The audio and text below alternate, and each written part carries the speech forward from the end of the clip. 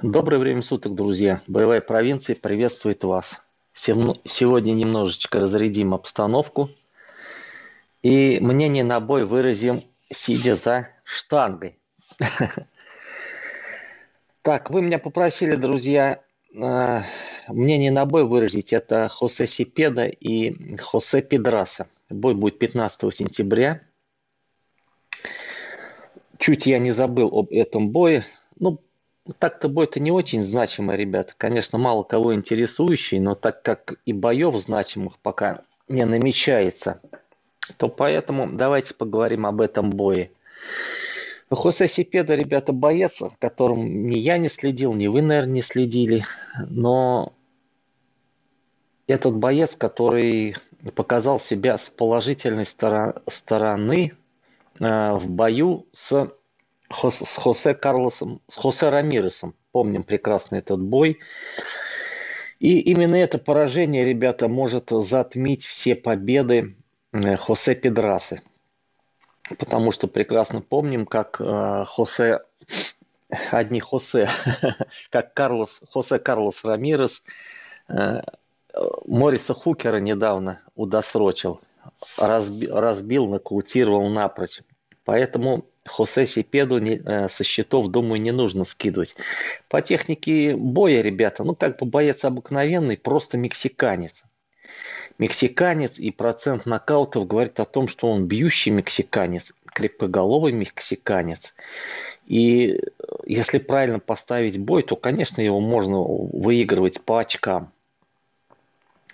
Но сможет ли это сделать Хосе Педраса, конечно, вопрос. Посмотрел э, букмекерские ставочки, ну, как бы на стороне Хосе Педрасы, все, как бы. Но что можно еще сказать, друзья, по этому поводу? Я как бы, ну, и согласен с одной стороны, а с другой не очень. Ну, по той причине, что вот это, поби... вот это поражение вот если просто заменить, давайте заменим Хосе Педраса, допустим, на, Хос, на Сепеду в бою с Рамиросом. Я уверен, что Рамирос бы э, раз, разбил этого Педрасу и ущерб бы еще больше бы навел, на, э, нанес ему. Я так думаю, просто образно. Хосе Педраса, друзья, чем обладает? Ну, я считаю, по технике бокса он немного как бы по, по разнообразнее, немного получше. Э, в бою с Джервонтом Дэвисом мы увидели то, что у него, в принципе, крепкая голова, потому что много ударов Педраса пропускал в том противостоянии. В бою с Ломаченко провел все 12 раундов и, посмотрев на лицо Ломаченко и на лицо Педраса, конечно, много вопросов интересных возникает. Как он умудрился по Васис нанести столько ударов в голову, в принципе, правильно. Ну, это я к чему, ребята? То, что человек может боксировать и может попадать, и даже с Бельтраном мы видели его э, в нокдаун посылал, но тем не менее провел э, все 12 раундов. В том бою тогда Бельтрану, по-моему, предрекали все победу, но ну, я в своем прогнозе, конечно, сомневался, потому что по технике, по технике бокса Петр, Педраса э, ну, как бы лучше, чем Бельтран. Он может и сближаться, он может и клинчевать, он может и поднимать руки. И вот сопост... еще давайте сопоставим некоторые факторы, и уже вывод сделаете сами, конечно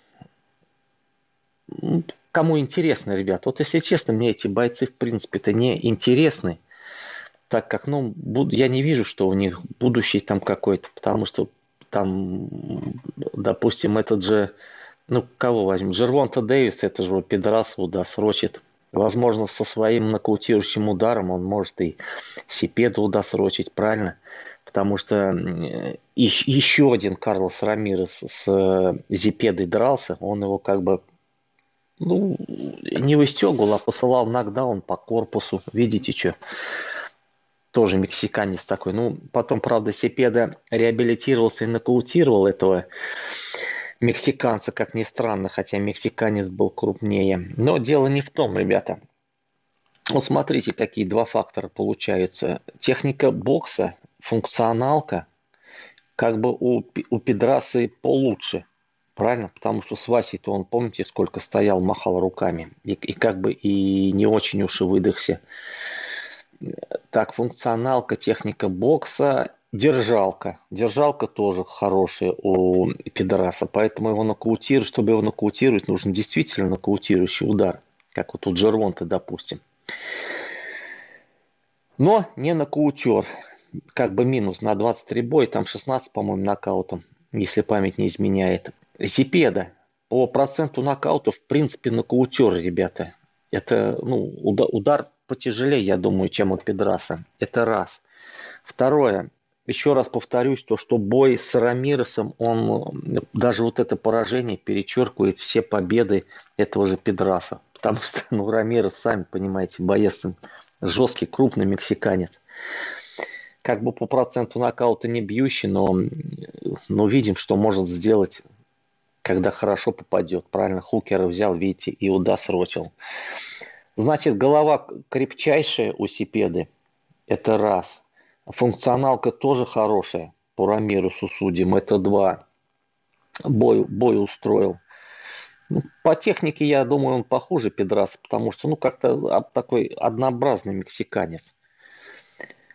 Поэтому здесь, если отбросить все вот эти факторы, там у этого плюс, у этого плюс, у этого крепкая голова, у этого крепкая голова, остается что, друзья? Э, Педраса потехничней, э, этот э, Сипеда по ударнее, правильно? Если начнет попадать Сипеда, что станет с техникой Педраса, правильно? Тоже как бы вопросик такой.